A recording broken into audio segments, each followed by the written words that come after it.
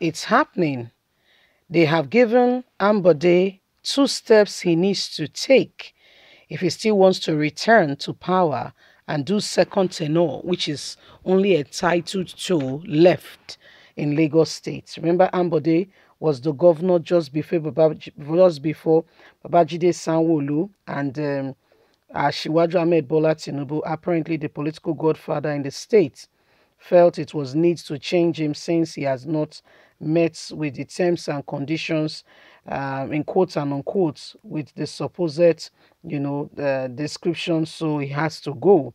This has, you know, gone on to affect, um, you know, Ambode being renominated in the party primaries uh, where he was supposed to be given the first refusal right, but rather they went into a vote and um, nobody voted him, or if they did, less than what was required for him to get the the possibility was rejected. And at the end of the day you know it had to resort to um, you know him being taken out. And our very own brother Sanwo-Olu got to the position.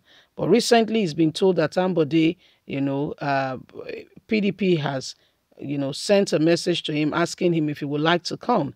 He can become like Obaseki let's get all the details in the last 24 hours, former governor of Lagos State, Akinwumi Ambode, has been trending on major news platform and striking headlines that tailors towards 2023 election in Lagos. The former Lagos governor, whose political journey was cut short following his failure to win APC primaries in the state, reportedly addressed some youth recently, where he advised them to get their PVC ahead of the general 2023 elections. The statement since has made the statement since has been widely analyzed, diagnosed, and and political synergies and political analysts who believe that the former governor might be attempting to worm his way back to reckoning ahead of 20, ahead of the 2023 governorship election in the state in all sense of modesty, Ambode's statement is normal and not unexpected, especially in time like this.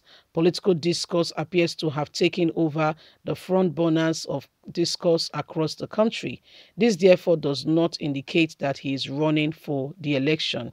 However, as a former governor who did only one tenure, he is totally, completely entitled to run a second one, but was abruptly denied a second chance by powers that be. Ambode has ever every right to throw his heart in into the popular once again election contest that will be taking place for governors in Lagos.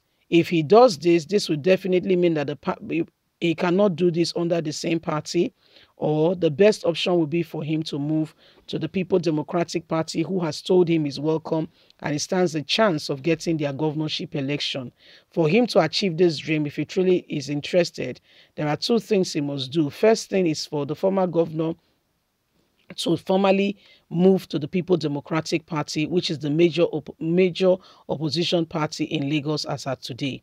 In 2018, it was rumored mm. that Ambode, who is a sitting governor at, at the time, wanted to decamp to the People Democratic Party following the obvious face-off between himself and his political godfather at the time, Tinubu, who would deny him the ticket. However, due to impeachment threats mounted on him, he was said to have dropped the plan. In other words, the former governor was cornered in between the two in between the two blue seas. This time he is not a sitting governor and is free to choose any political party and platform under which he must contest this election.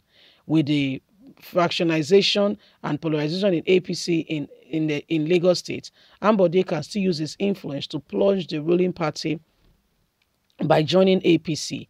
The only person he has to contend in that matter will be the Lagos for Lagos movement, Olajide Adeniran, who has also moved a few weeks back into the all the all the People Democratic Party. If Ambode could scale through and join the People Democratic Party, happy days ahead of him. So this is what he has to do. There are two things. One, he has to move to the People Democratic Party. Two, he has to beat uh, Lagos from Lagos who has already joined, you know, uh, the joined People Democratic Party under which primaries will first of all be conducted. So this is what is happening right now. Very old brother Ambode has been told to make hay while the sun shine if he wants to become Lagos State governor because um, this is what is happening right now. And here, as we see, as um, this is, you know, the potentiality for him to become the governor of Lagos State if he wants to become the governor. He cannot, I mean, we know first of all that um, in PDP, uh, our very own brother Tinubu is against him already. So that being that point being established, it makes it far cry for him to be able to get such a position. And um, the best thing for him to do now is to either move, yeah, move to the People Democratic Party just like Obaseki did. Yeah, he can do that move, and uh, Tinubu has nothing to say to him. Then he could, you know, go ahead, prepare himself, and the only person he's got to deal with then will be, you know, uh, Olajide, the Lagos for Lagos uh, young man who just joined, you know, the, the party and then was promised by People Democratic Party that they stand a chance of getting their presidential ticket.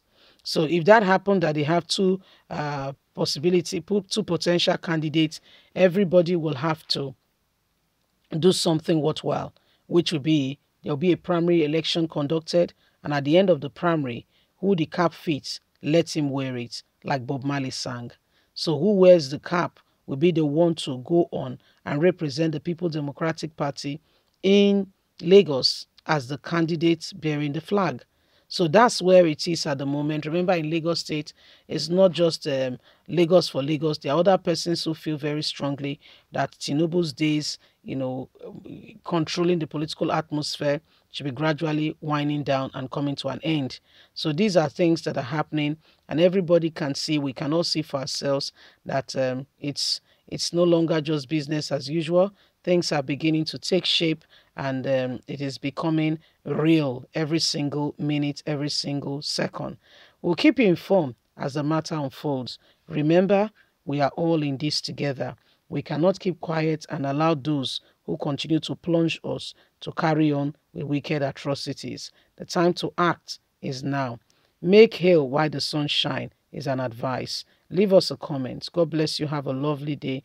Bye for now. Bye.